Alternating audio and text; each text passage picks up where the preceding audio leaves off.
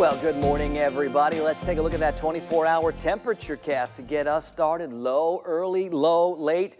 Staying kind of low even this afternoon. A very different looking setup on that 24-hour temperature cast compared to yesterday when we started off with the temperatures are pretty much pretty high and then really dropped off yesterday afternoon behind that boundary. Boy, did it ever get kind of chilly out there after that cool front came through and brought us some of those rain showers got out just in time for trick-or-treating too, so we made out okay. Futurecast is going to show some clouds want to linger way out to the east, and that may mean for the Florida-Georgia game in Jacksonville, some lingering clouds or even a couple of showers tomorrow afternoon. But for all the football action around here tonight and tomorrow afternoon, the weather looks pretty primo, pretty fall-like, pretty football-like out there for us now.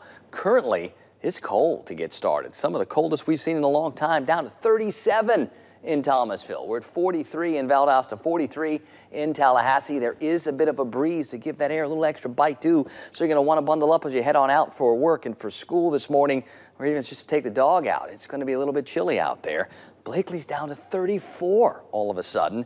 We're at 39 at Quincy. We're at 37 at Moultrie. It's 41 at Monticello. Gets a little warmer in Cross City at 52 but even Carrabelle, just 42 this morning. Look at the temperature change over the past 24 hours.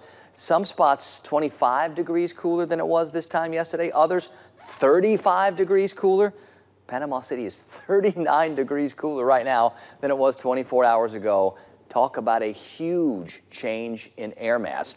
And that high area of higher pressure, that cooler air is washed across the region.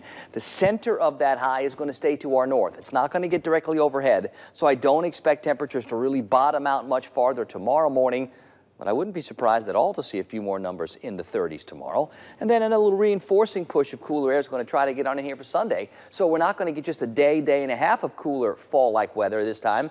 I think this time we get a whole weekend and beyond of fall-like weather. When things start to moderate a little bit early next week, they'll moderate to more seasonable levels. It's not going to be a return to that warm and soupy stuff we put up with pretty much for most of October.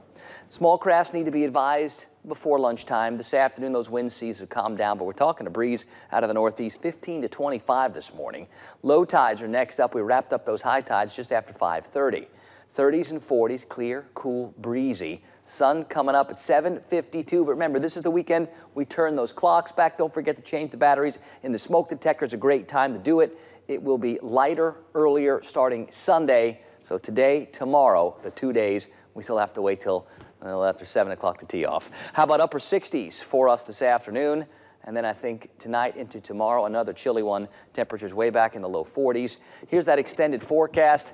It's going to be a struggle to reach 70 for highs, maybe all weekend, but I do think things get a little bit more mild as we start next week.